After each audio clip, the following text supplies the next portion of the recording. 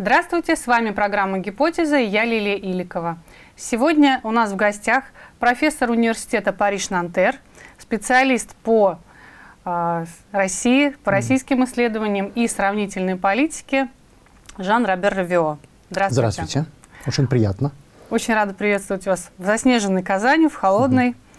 Угу. Надеемся, что прием для вас был теплым. Это прелесть.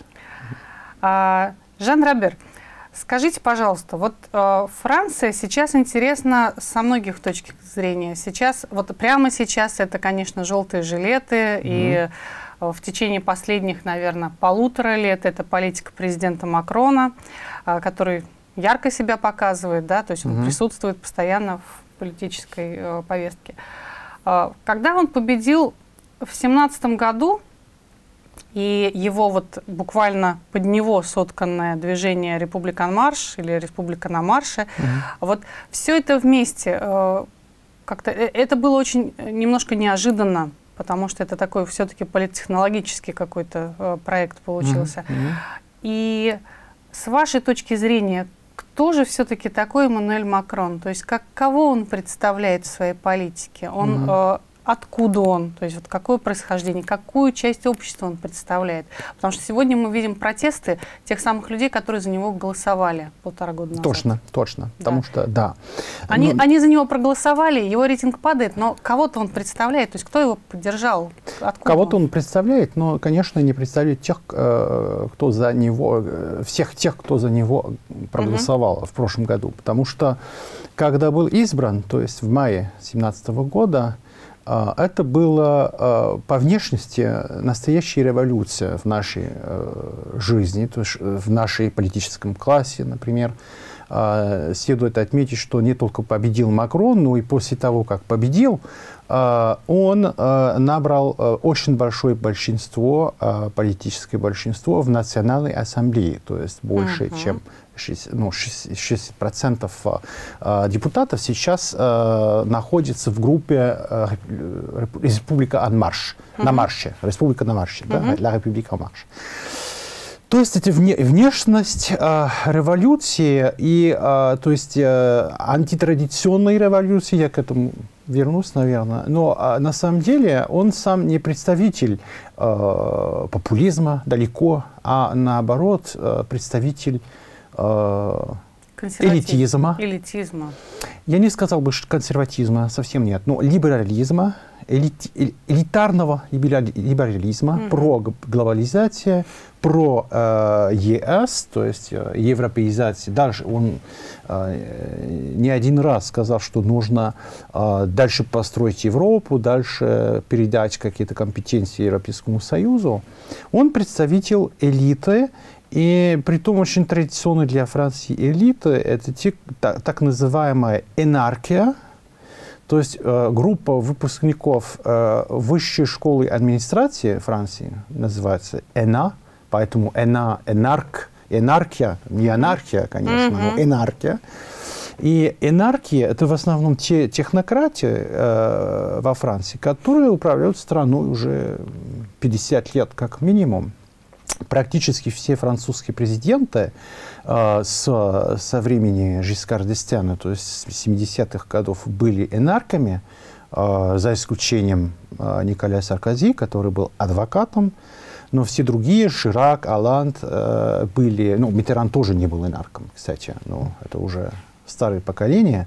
Но энархия – это та элита технократическая, которая управляет э, и политикой, ну, то, то есть и, и государством, и крупным бизнесом во Франции. А близки ли они к бюрократии, вот как понятие?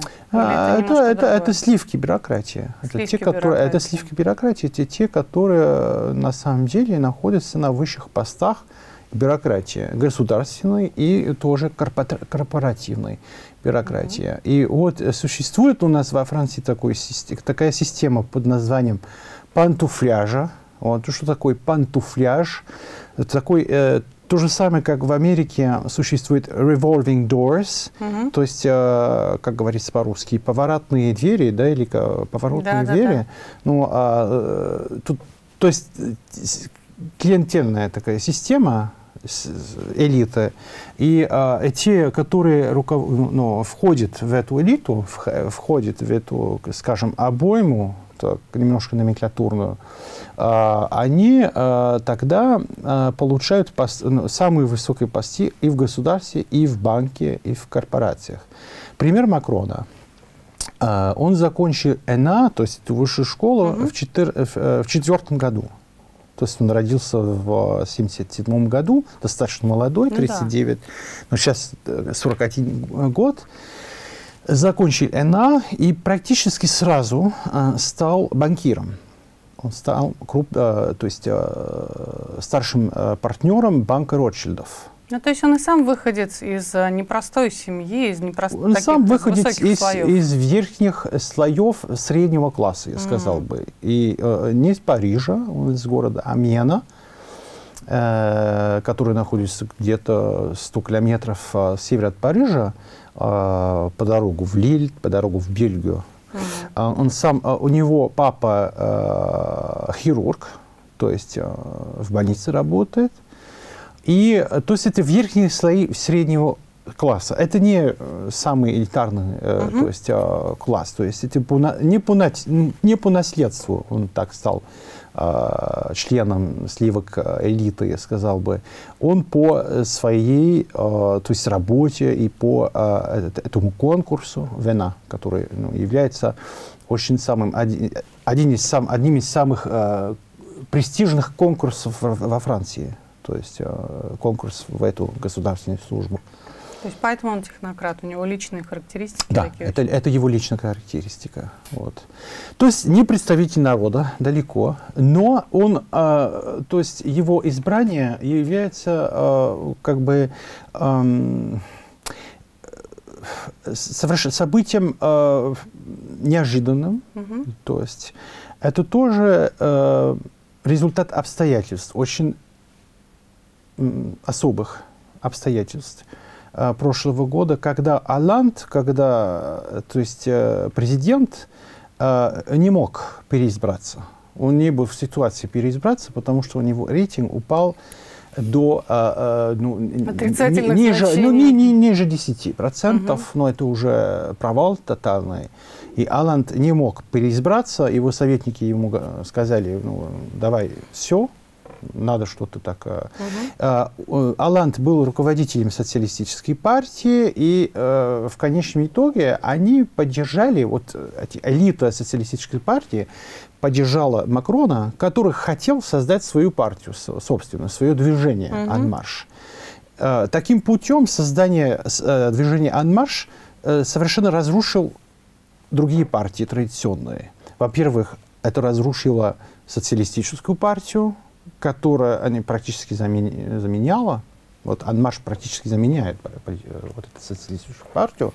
И, э, то есть, с правой стороны у нас республиканцы, то есть бывшие галлисты, э, у них кандидат Фион провалился в результате медийной кампании против него очень агрессивной дискредитации. Да, вот это его. было да. вообще очень показательной характеристикой тех выборов. Это да. было, было техничное очень устранение всех кандидатов, кроме Макрона, именно с помощью медийной это большое, да, это огромное, огромное использование административного э, и медийного ресурса в пользу Макрона, потому что на самом деле Макрон э, оказался одновременно и в этом же э, результат, то есть избрание. Почему он был избран? Потому что одновременно оказался кандидатом как бы революционным угу.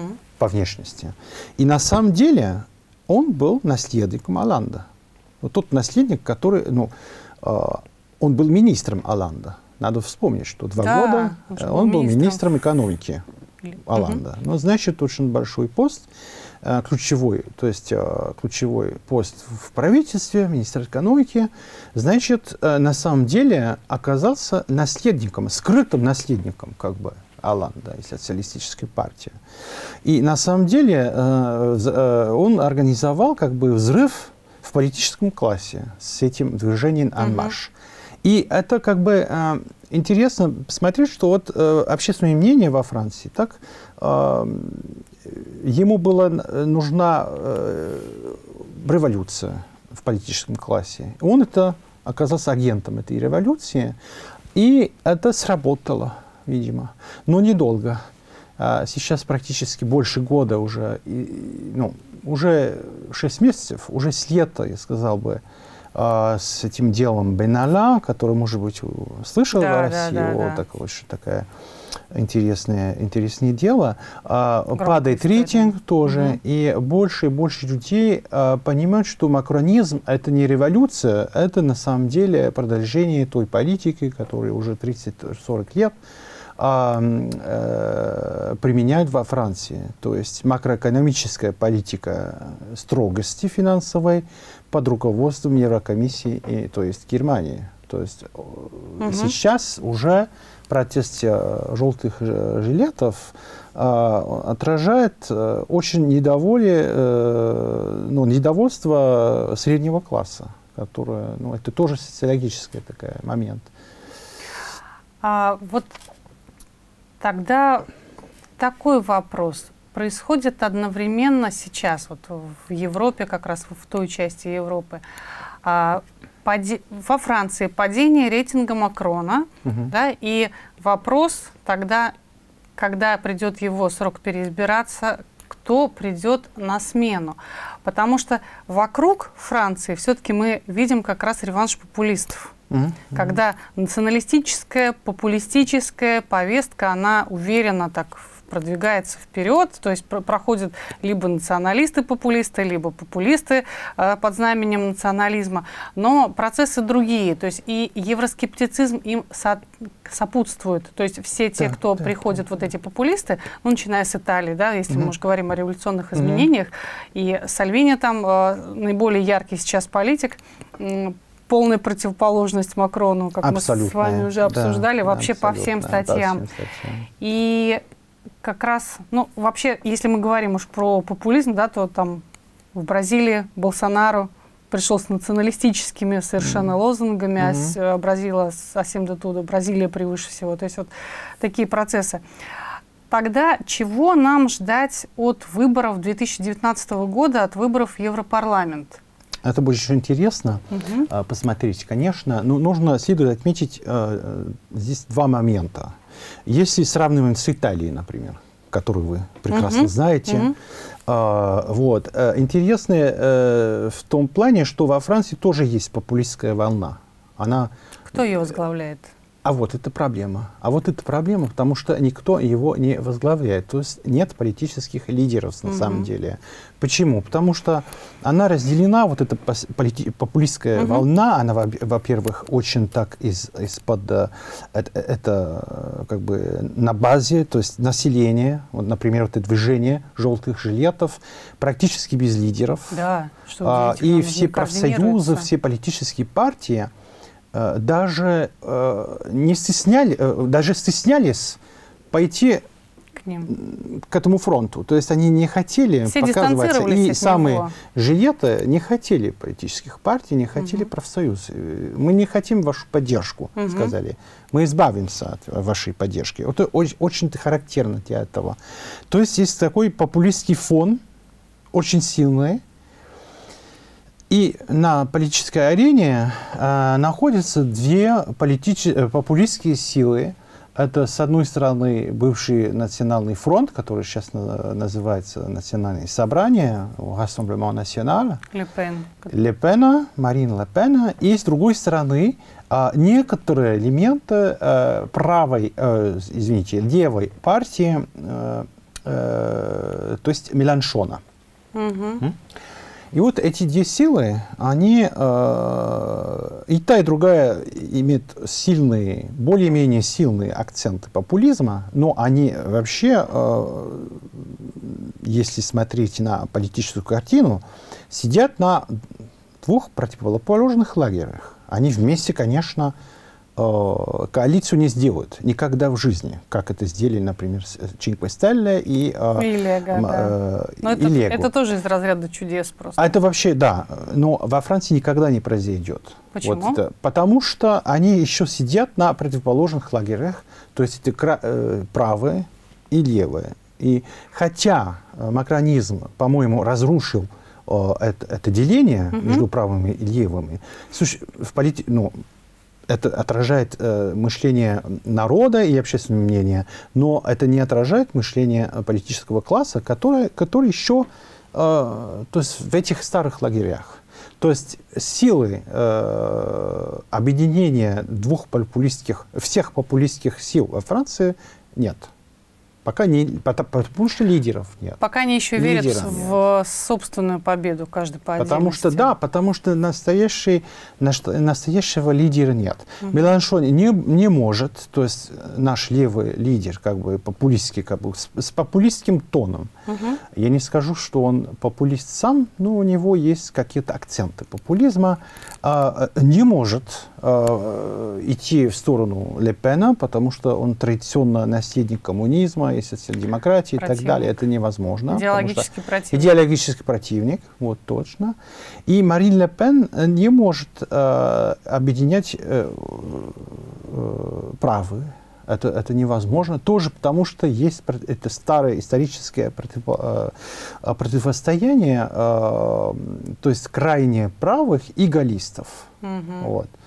Хотя на сегодняшний день галлисты и, э, и, и, и национальное собрание, ну, нацфронт, ну, скажем так, понятнее для публики, да, что такое национальный фронт, Марин Ле Пен, если смотреть на идеологию, если смотреть на программы, они практически очень-очень-очень э, приблизились. Эти, э, ну, то есть галлисты, особенно вот правые галлисты, угу. они практически ну, те же самые идеи, как у Марин Ле Пен, более-менее. Вот.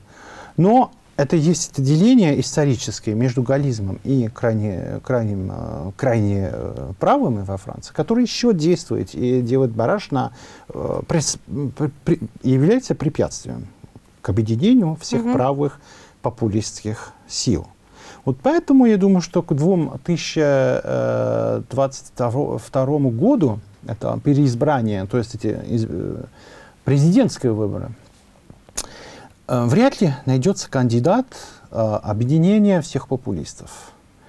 Это большой шанс э, макронизма, и, то есть, скажем, либеральных и про ну, глобализм, угу. глобалистских сил, они могут еще победить. Может быть, не Макрон сам, но может поставить нового кандидата, более свежего, более нового или опытного, а, кандидата с большой, как бы, с, большим международным измерением, биография такая. Uh-huh. Я думаю, например, а, идеальная кандидатка была бы Кристин Лагард, которая oh. сейчас а, возглавляет ВМФ. Это, по-моему, идеальная кандидатка глобализма во Франции. То есть вот. в этом и преимущество технократии, да? Что точно, если даже точно. если есть течение, но человек э, точно. не справился со своей а, ролью или, да. потеря... или так было задумано, что он потерял рейтинг, его mm. просто меняют, mm. а само течение, направление и политика остается той же да. самой. Когда у популистов будет, я не скажу, что будет кандидат, но будет когда популисты э, смогут формировать какое-то единое движение а, и набрать силы в сторону технократии и инархии, когда будут откровенно десятку инаков, которые, высказываются, которые будут высказываться за популизма, и за, угу. например, вот, э, по вопросам иммиграции, по вопросам экономических и социальных вопросов, тогда популизм во Франции, может быть, э, возрастет. Но без технократии и без инархии это невозможно. А вот как вы считаете, вот если уж мы говорим про инархию, да, про, mm-hmm. видимо, это все-таки э, достаточно, ну, новая молодая поросль. А вот обсуждали с вами, и вот как Кирилл Бенедиктов, угу. наш с вами друг, утверждает, что Марин Ле Пен уже навряд ли имеет шансы, ну и вы сейчас это подтверждаете, для того, чтобы возглавить популистское движение и возглавить правых. Но есть ли такие шансы у Марион Маришаль? угу. тоже представительница этой же семьи, но более молодой. Она носит другую фамилию. У нее есть э, возможность как-то вот примкнуть, может быть, или показать себя, презентовать по-другому. Как вы считаете? Я считаю, что это будет, э, с, то есть стратегия Марион, Ле, Марион Маришала, сейчас она не хочет больше Ле Пена, она да, раньше она, да. э, вот это было Марион Маришал Ле Пена, сейчас угу. она Ле Пен э, отказывается от Ле Пена. Э, тяжелая фамилия. Тяжелая фамилия, да, и Маришаль тоже, кстати, э, тяжелая фамилия, потому mm. что в сознании, в французском сознании Маришаль – это маршал, маршал Петен. Понятно. Это крайне правый. Другая, это, даже да. это не, конечно, совсем только э, не ее вина, не ее ответственность, но у нее очень плохая фамилия в этом плане. Да. Не очень. А, ну, так. Э, так и есть. Марион Маришал, э, мне кажется, позиционируется в, э, э, не как э, будущий лидер э, популистов, угу.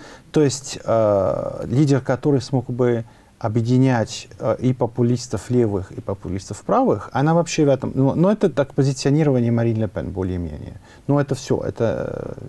Э, она не добилась, э, и, и этого не было и не будет, по-моему. Особенно, если она остается, Марин. Марион позиционируется как лидер э, э, возможного объединения всех правых сил, но не левых.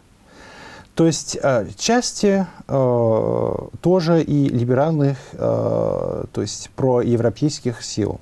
То есть ее стратегия опирается на, ту, на, на, на такую идею, что можно объединять э, правых, правые силы на платформе, э, достаточно разумной платформе, э, которая не будет говорить о евро, не будет угу. говорить так.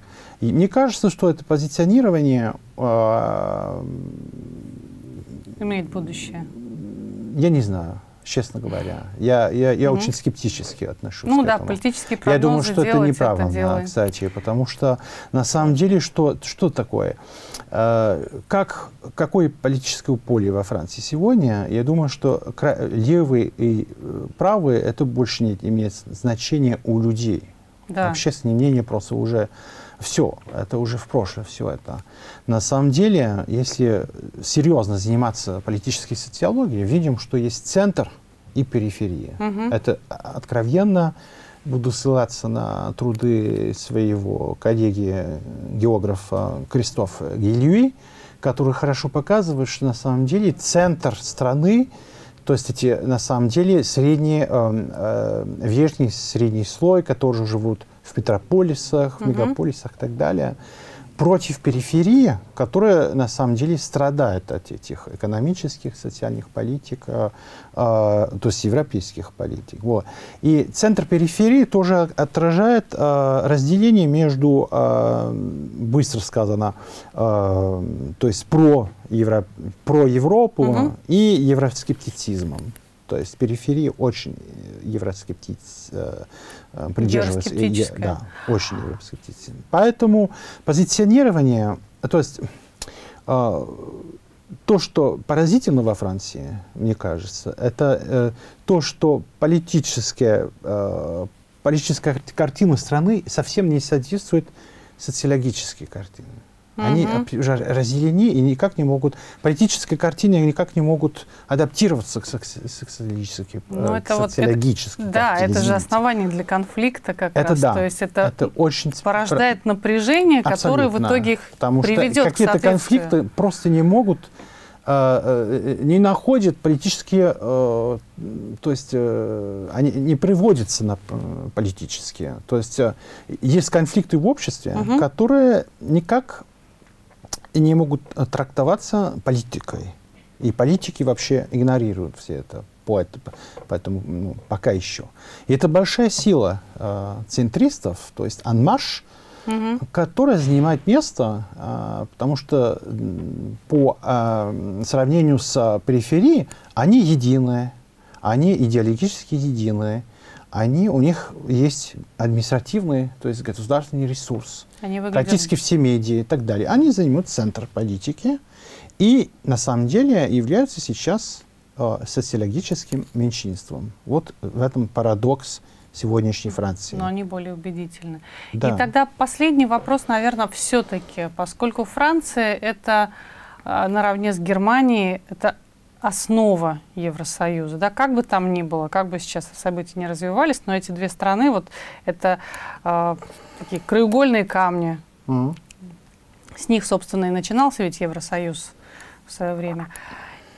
Поэтому вот э, един, идея единой Европы сейчас каким-то образом трансформируется в связи с популистскими там течениями, в связи с какими-то э, с миграционными очень мощными, конечно, mm-hmm. потоками. Все это вот э, порождает в каждой отдельной стране какие-то изменения, сложности, трансформации.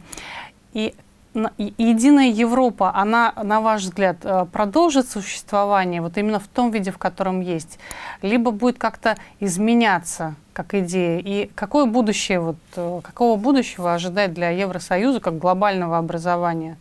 Потому что Брексит уже был.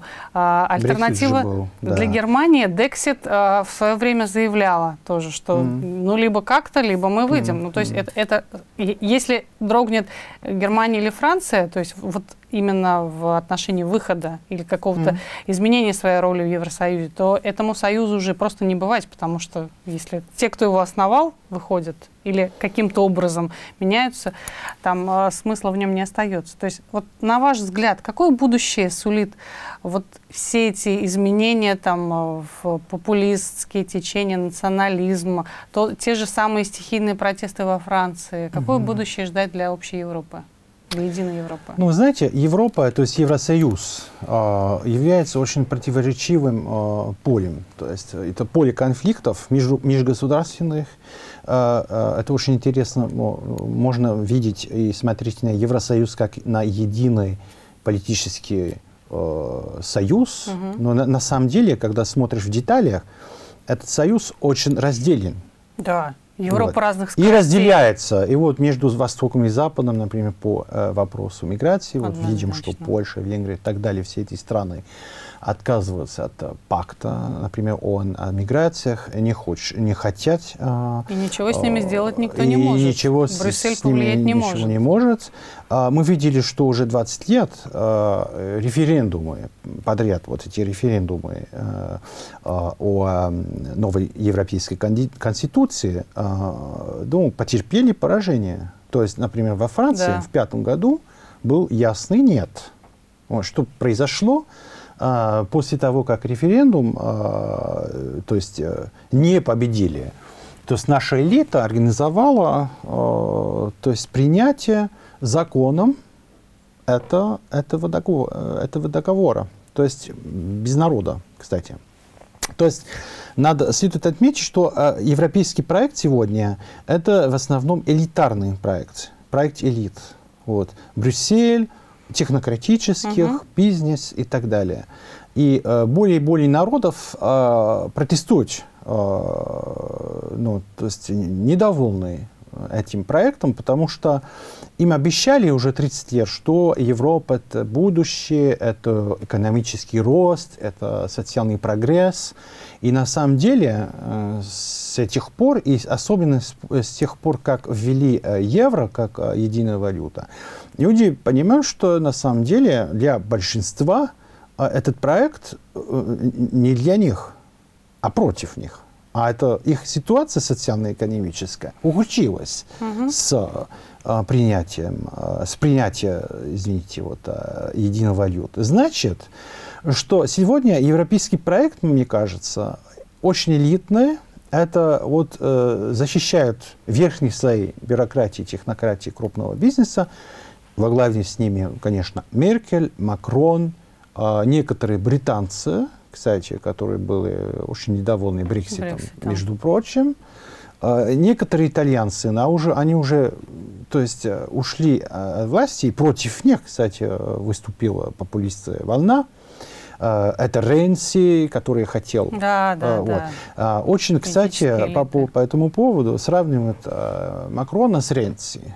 То есть у него будет, наверное, Похоже. та же самая судьба. Угу. Вот, той, тот молодой лидер, проевропейский лидер, который защищает Европу, очень сильно и поддерживает Германию, то есть э, очень лояльно к Германии, угу. и, э, и все это плохо кончалось для него. Вот. Ну, Может быть, с Макроном да. тоже, то, то же самое будет. А, что на самом деле будет? А, Германия, мне кажется, она настаивает на том, э, на, не, на Ев, не, не на Евросоюз, но и на Евро... Она очень хочет сохранить еврозону. То есть евро, зону евро. Зону евро. 11 стран. А, я не буду их называть, потому что, может быть, не точно скажу, но это Австрия, это Германия, Франция. Ну, те э, страны, которые э, принимали евро как единую валюту.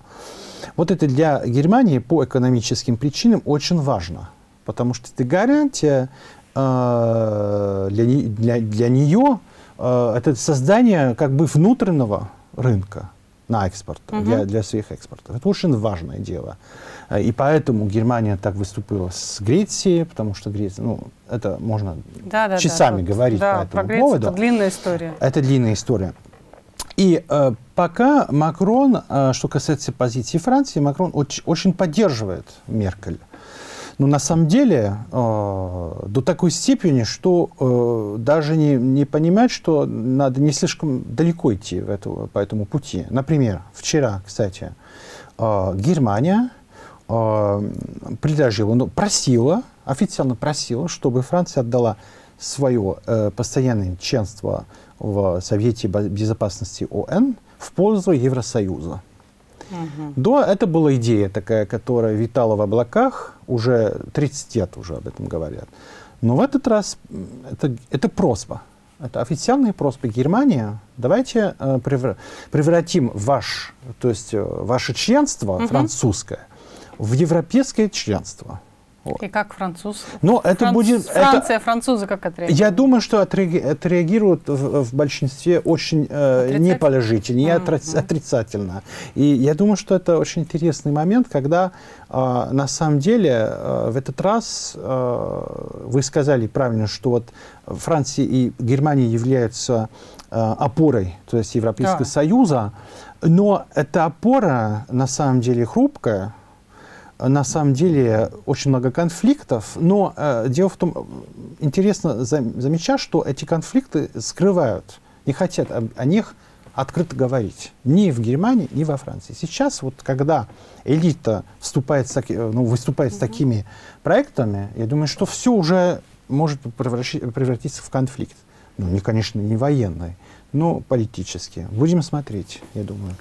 Интересно будет смотреть. Будем следить. Я Будем надеюсь, следить. что в одной из следующих встреч мы обязательно я... в 2019 году вот уже по результатам того, как это все произойдет, хотя бы с выборами в Европарламент, потому что непредсказуемый это, да, это будет процесс. Непредсказуемый это будет процесс. очень Но интересно. надо следует отметить, что очень часто, поскольку вот эти выборы, они, э, э, то есть э, э, политически интересные, но э, их Результат э, не очень важен, кстати, э, этих выборов.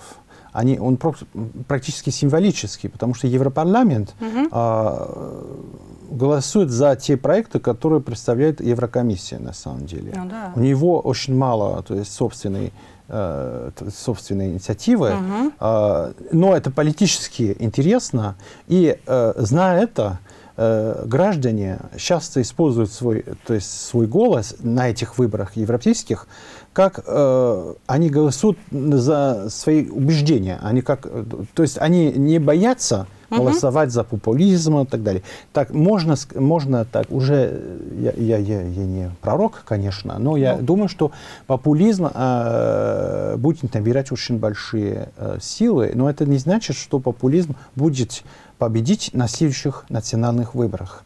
Они, mm-hmm. вот эти евро, э, выборы в Европарламент, они как бы немножко отделяются от национальных выборов. Две разные Это не, истории. Да, разные истории, логика разная. Понятно. Спасибо большое. Большое спасибо за интересный разговор.